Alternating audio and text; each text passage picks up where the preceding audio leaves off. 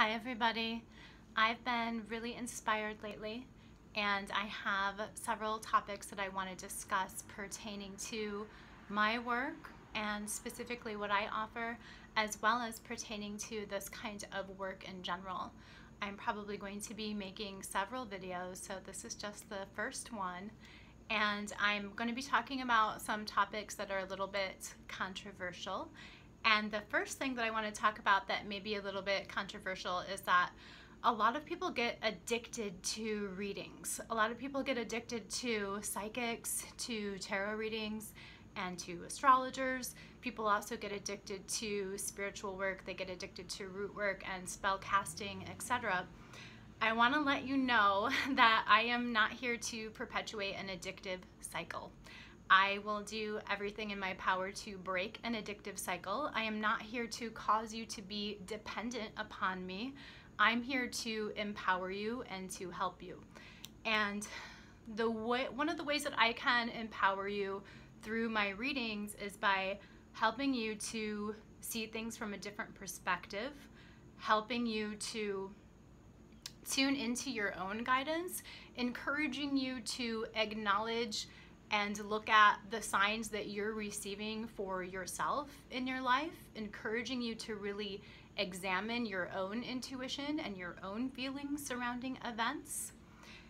And I think that it's really helpful to get an outside perspective sometimes in order to do that. So it's important to differentiate between, it's important to make note that getting an outside perspective on things is something that everyone needs. It's always useful, especially at particular transitions, particular crossroads, to get an outside perspective from someone who's not involved in your life and from someone who has a belief system or an approach or a philosophy or a spiritual philosophy that you agree with and that you know is going to be helpful for you and that's useful for everybody. So i'm by no means saying that you know that it's something that you shouldn't do. I'm just saying it's something that i don't want you to become dependent upon.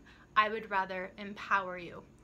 Um, another way that i empower you through my readings is by helping you to identify those obstacles and roadblocks that are holding you back from from whatever it is. Some people feel that they're being blocked from making the correct choices or from making important decisions in their lives. Some people are holding themselves back from taking action to change their lives. Um, some people are holding on to blockages which present them from really being in tune with their own intuition or their own psychic abilities. Um, so those are the kind of obstacles and blockages that I can help you define and then get you in tune, like I said, with your own intuition, with your own gifts, with your own guidance. I used to work for a very prominent um, psychic company that I am not allowed to mention and it was a really prosperous job and it gave me a lot of perks and it was really enjoyable but I had to break free from that job because I didn't have the ability or the influence there to assist clients from really breaking free from cycles and habits that held them back. For instance, there are a lot of people who were really held, um, really hung up on exes. They were hung up on their ex-girlfriend or boyfriend or things, their ex, their, their old relationships. And some people would call every day to talk about the same person. They would ask the same questions about the same person and the same relationship. And sometimes this was like a year or two after that relationship ended. And in the position that I was working for somebody else, I didn't have the power to really do what was best for that person and say, you've got to leave this behind you once and for all. Like, let's find a way to leave this behind you. I could say that, but I couldn't prevent them from calling me the next day to ask me the same thing over and over again. So I don't work for that company anymore. I don't work for anyone anymore. And part of the, except myself and you. So part of the beauty of me having control over what I do is that I have the ability to truly do what I feel is in the highest good for you and for me. I'm interested in all of our spiritual evolution and I'm going to do things in a way that I see ethically fit, in a way that fits with my spiritual philosophies and the systems that I've worked out for myself.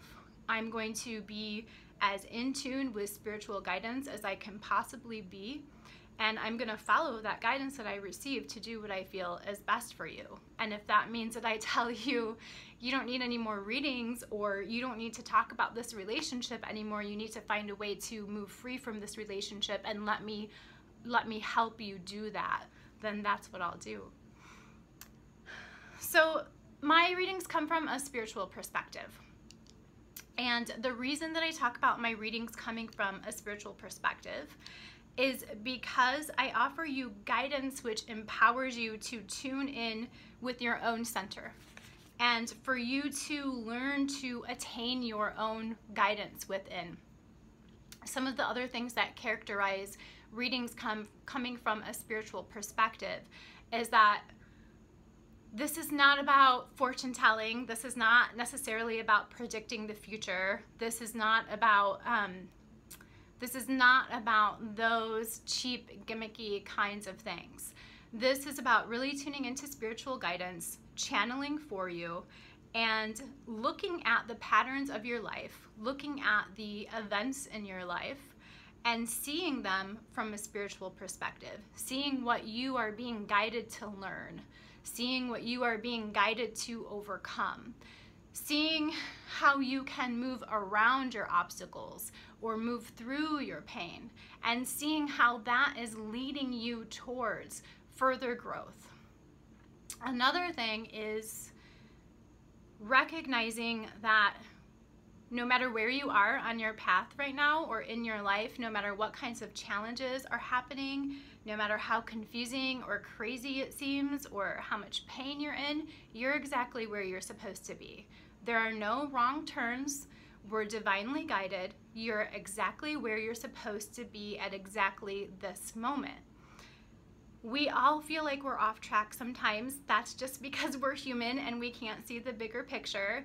Um, none of us are so in tune that you know we can sit in the face of tragedy or pain and know and just you know tell ourselves oh we're on the right path so it's fine none of us are, you know, are impervious to those kinds of things. But in a reading, when you reach out for help, I can assist you with seeing how you are on the right path, how this is going to lead you to better things, how it's going to help you grow. I can also assist you with seeing things from a different perspective so that you can understand that you have different choices um, so that you can decide for yourself, you know, do I like the road that I'm on or should I choose another road? Now, another thing about all of this is that when you're seeing this kind of life cycle from a spiritual perspective, then you recognize that fate and destiny are not set in stone. We do have certain challenges or certain lessons that we have agreed to learn, and we're going to learn them one way or another. So there's still no wrong turn you can, regardless of the decisions that you make, you're going to learn your specific lessons and your specific challenges. And if you don't learn them the first time or the second time or the third time, they're going to keep coming up. And those are also some of the patterns that I can see and some of the things that I can assist you with through a reading.